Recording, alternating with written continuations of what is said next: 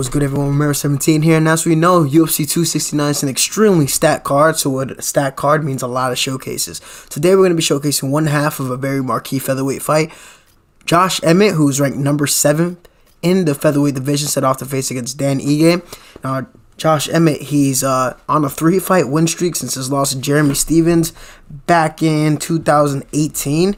His uh, last victory over Shane Burgos was fight of the night.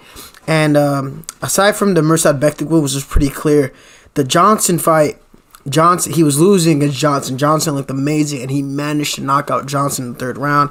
And Burgos, he Burgos was beating um, Emmett as well, but that power is just a great equalizer. And Josh Emmett has power for days.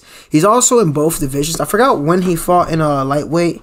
Uh, it could have been, you know, I know he won like a lightweight title way back in his uh, amateur days, I believe, and I think he fought Desmond Green. I think, correct me if I'm wrong, might have been in a lightweight, but regardless, he's in both weight classes. So we're going to be able to showcase him both ways there.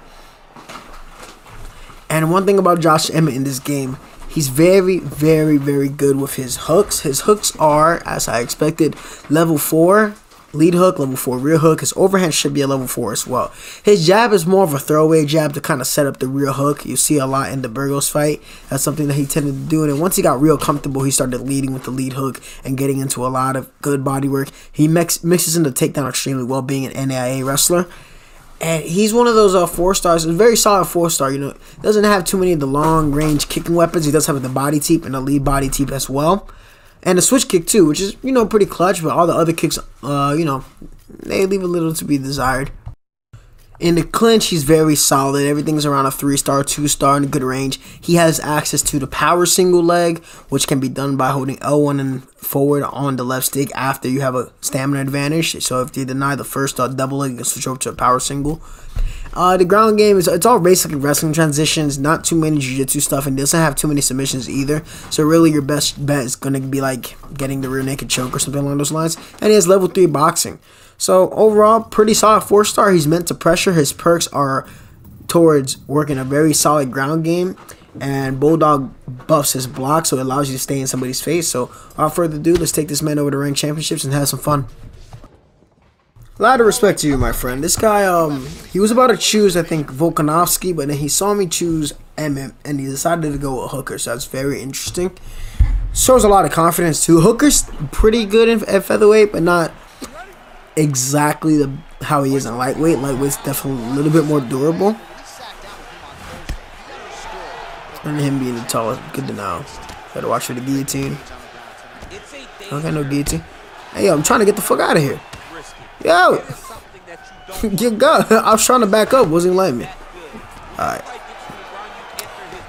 So we're going to definitely try to make use of uh, Emmett's overhand, especially since we're going against a taller fighter.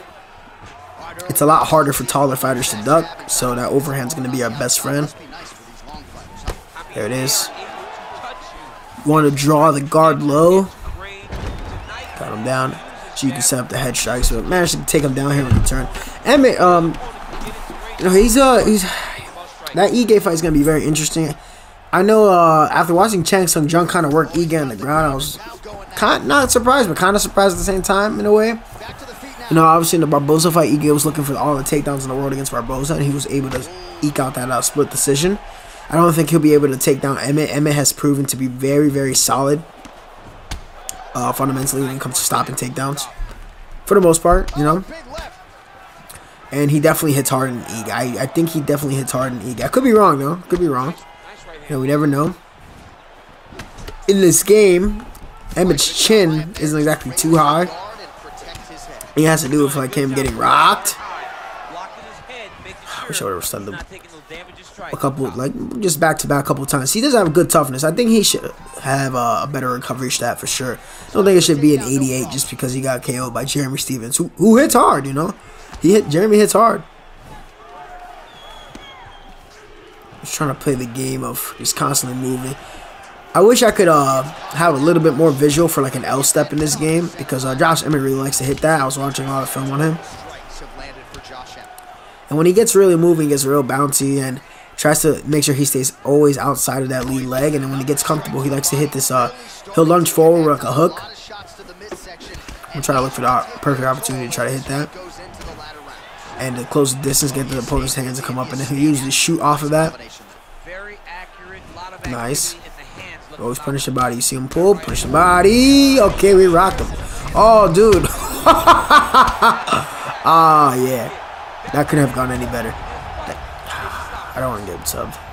Okay. So, he, this guy, I mean, he was doing good. I'm not gonna lie. He was doing good from enough. Oh, shit. Ah, I thought I denied that. Okay.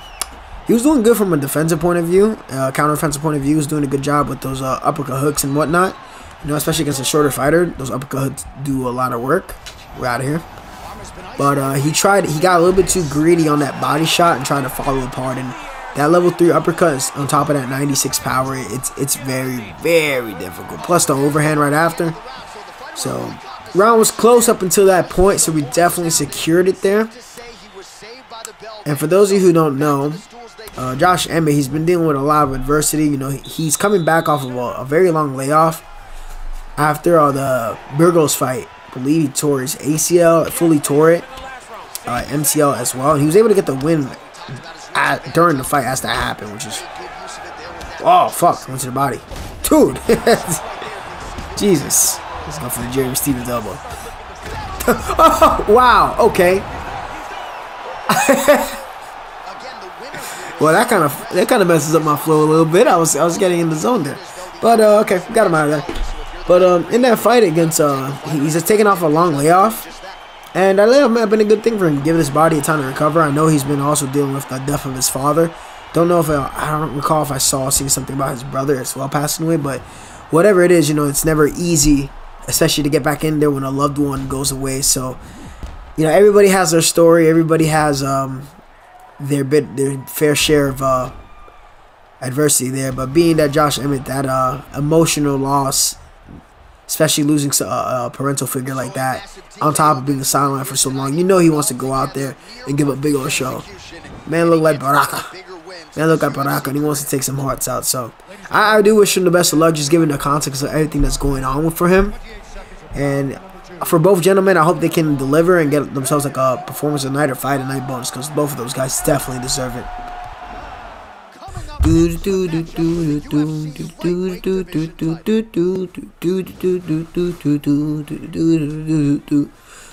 This fight in lightweight, I think uh, Gaethje would knock out Emmett in lightweight for sure. I, that Gaethje just hits a little bit harder, I feel. And uh, in lightweight, Emmett's power is just a little bit less. So we'll see what type of Gaethje he is. So you going with a four piece with no setup? Yeah, this is not a this is not a very intelligent Gaethje. He's kind of hanging back, holding low block. Just want to see what he has in mind. Is is the three round fight? Yeah, that's not good. He's going for double elbows. Well, Marshall Miner just dropped a video uh, talking about how players that uh, confuse being technical with being passive. And I, I, don't know if this is what this guy's trying to do, but this is not how you want to use Justin Gaethje. You got level 5, uh, there you go, use the calf kick. Use a low kick, you know, but hanging back and allowing me to take turns is getting into my own flow. It's kind of not the way to go about it, because I'm going to see what you're doing, bro. oh, love it. He's forcing the pull. Look, all I'm doing is just stepping in and out of range. That's something that uh, Emmett was doing well against. Oh. Oh. okay. Nice random, random flying knee. Ah. Toughness of Gaethje. Gaethje has this perk called Wake Up Call, so whenever he gets uh, a lower health, he actually gets uh, an extra boost to his health stat. So it actually makes it very dangerous to exchange with Gaethje because you could be nice combo. You could be in the middle of an exchange with him, and then uh, that perk will kick in, and then oh, oh shit! Thank God that was a cross. But Emmett has some pretty good body work as well. Hence the level 4 body hook. Let's go, let's get that in there. It's just, so, okay, keep yourself on the fence then, brother. And I'm, I'm wondering uh, if he's going to, I know it's, it's going to have obviously be a three round fight. So, okay, let's try to take him out here. No? Okay. With uh, Ige, I'm, I'm wondering if the goal is going to be maybe try to set the tone early, try to take Ige down early wear him a little bit, and then have Iggy feel your power. down. Because I think that would be a pretty good game plan. Iggy does has pretty good jiu-jitsu. He was able to survive a couple submission attempts from the zombie as well. Um, obviously, Josh Emmett in the game, he doesn't have too many uh, submissions. So I don't, kind of just tells me that he does not do it too much. Too much jiu-jitsu in there in the ring. But for MMA wrestling, it's pretty good. Build like that. Ah, oh, come on. I wish I would have rocked him.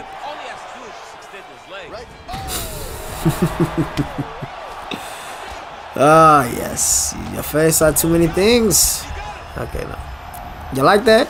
I hope y'all like that. And, oh, shit. God, if you were any smarter. If you were any smarter, you would have head kicked me. But uh, he also likes, Emmett also likes that inside slip check hook.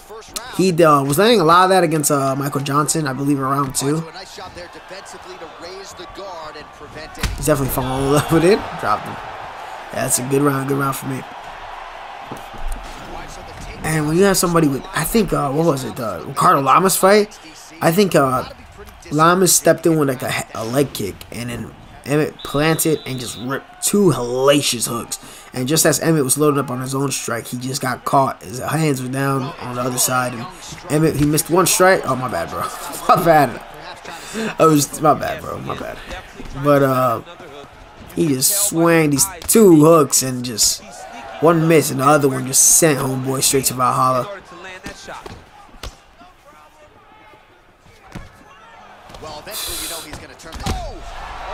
Oh my god, bro.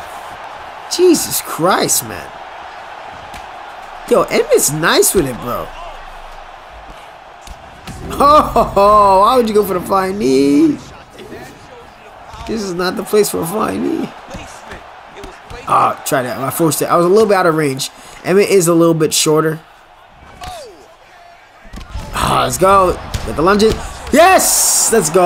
Off the lunge and into the three-piece body combo. He was too rocked. He tried to strike while he was rocked. His short-term stamina was definitely shot there. Nice. Back-to-back -back finishes. Back-to-back -back finishes. Nice. Just how I like it. Just how I like it. Hopefully y'all enjoy it. I want to try um, doing more of those lunging strikes with uh, fighters that like to use the set lunging strikes and then setting up into bigger combinations. Let's just see how much it can do.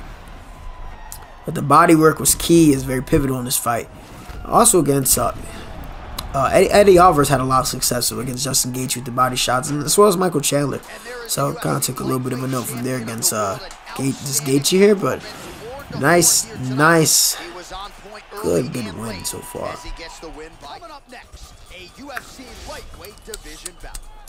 Coop we trust.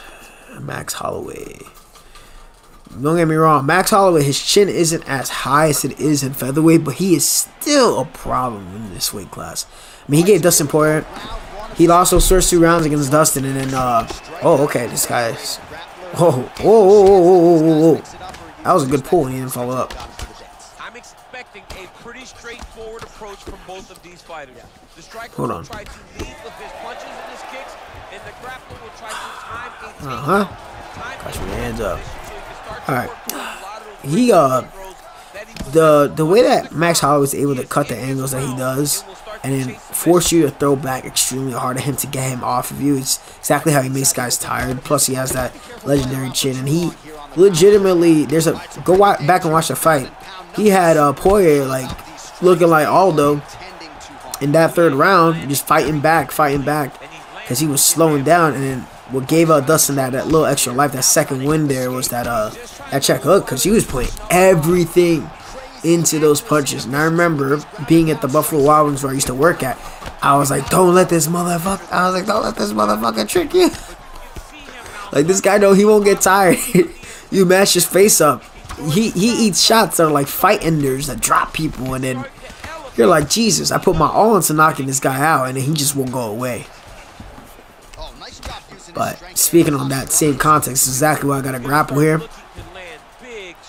You want to, whenever you go against a Max Holloway player, I like to say that, uh, obviously, unless you know the guy or something, almost everything goes. Uh, you gotta play. You gotta play a little bit more dirty because Max is just. It's one jumping back spin kick away, one knee elbow away from rocking you, one jumping flying knee from rocking you. You gotta you gotta pull out all the stops. So especially in the grappling. The grappling's gonna be the best bet to constantly wear at max because on the feet, He's a little bit too fast for Emmett. I can feel the difference in the speed trying to exchange with him. And in this game, power is one thing, but speed is a little bit more important. If you land first, you're more likely to win the exchange, especially when you're in the proper range. So we're just gonna we're gonna work very methodical. We have five rounds to work. Fortunately, Emmett does not have subs I would like from here, but we're gonna just try to work him in the crucifix.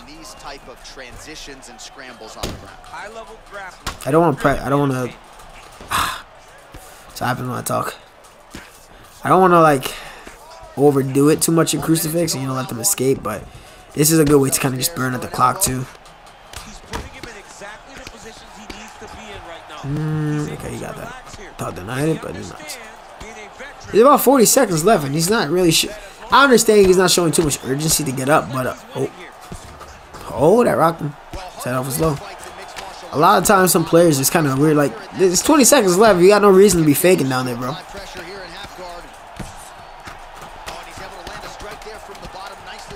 Go for the Basha? Nah, I won't for the Basha. Pablo, what are you doing, bro? Alright, so go first round. We got him down early. So we got secured that round. We just can't we can't afford to let Max tee off on us because once he starts to go and he has that level 5 jab, level 5 cross, the level 3 uh, strikes in other locations, and then all the spinning stuff and the boxing combos, he's just extremely solid. But look at that. See, the, the power. That's where the power stat matters in winning exchanges and single shots. So he landed at uppercut first, but I was able to go through and land that uh, overhand. So that's real good. Huh? Oh, a huge block hit. Oh, and he gets tagged. Beautiful combination there. I'm not sure how many more of those power shots he can take. Huh? Oh, fuck. Oh, oh, fuck. That was so good, but fuck. Ah, he didn't. He's not throwing the pull uppercut. He's waiting.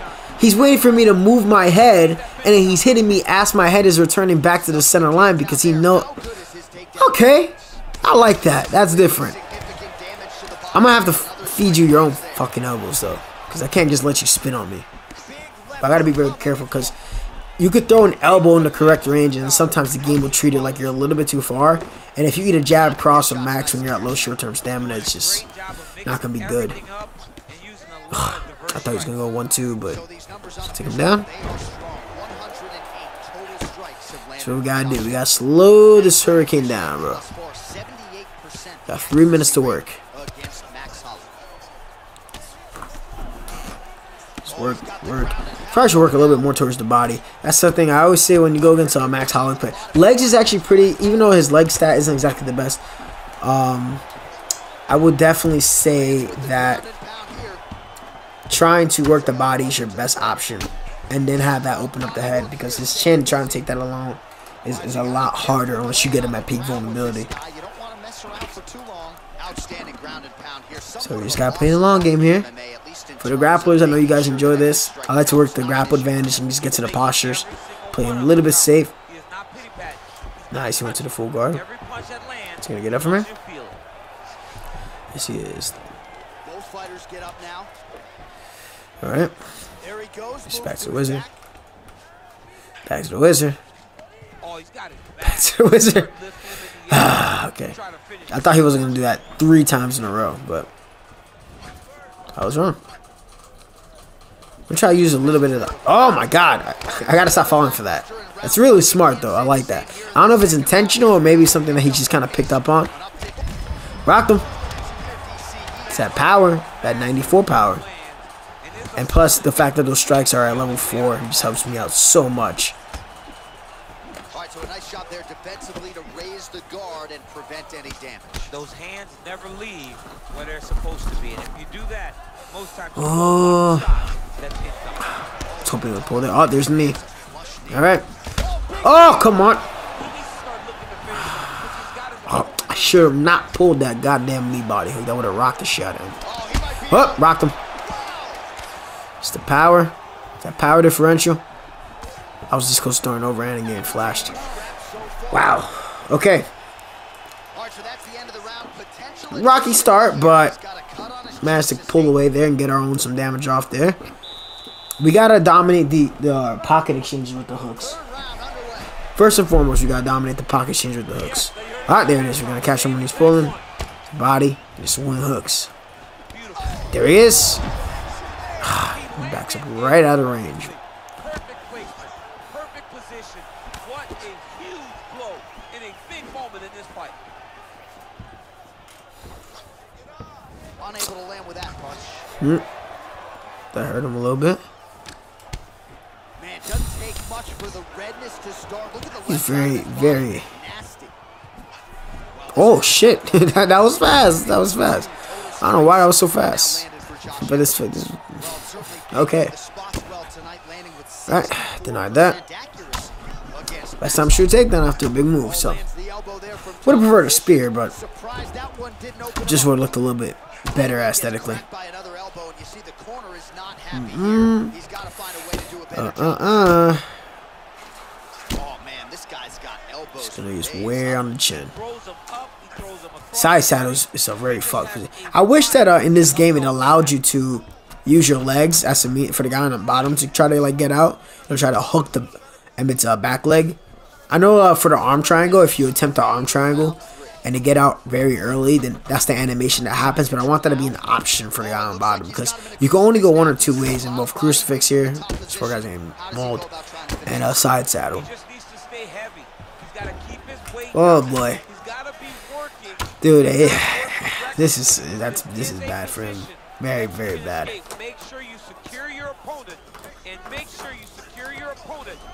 Uh, okay, he got it. Not letting you pass them out. So I'm not gonna let you go to sprawl. He's hurt.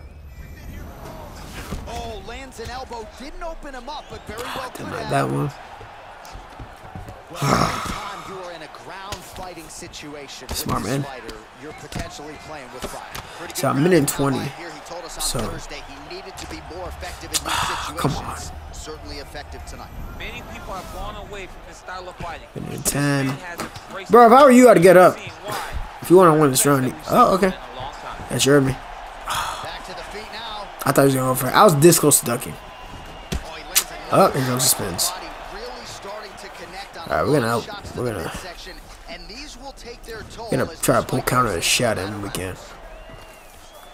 Alright. He denied it. He to denied that one too. Oh my shit. No, no. Jesus. That was impressive as hell, bro. Ah, fucking cross. No. Woo!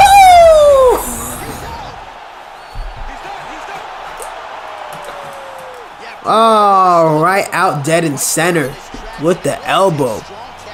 I got I like the slip elbow that uh, I think uh, Kattar did against. It's like, woo! he said well played.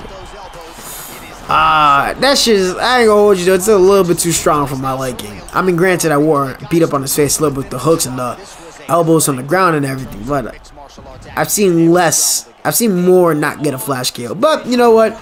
I'm content with that. Hopefully, you guys are too. That is going to be it for the UFC 269 showcase for Josh Emmett. Hopefully, he pulls out a big dub. And if Danny gets it done, and Danny gets it done, uh, you know, best of luck to both gentlemen. And we're, we're gonna definitely be in for a treat because we have a lot, lots and lots of action going in on that card. Mero 17. Hopefully, you guys enjoyed the showcase. We got more coming. Take care and have a good night. I'm out of here.